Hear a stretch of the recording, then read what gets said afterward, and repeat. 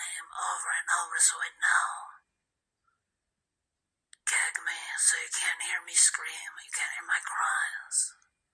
You can't hear them anyway, so what's the point?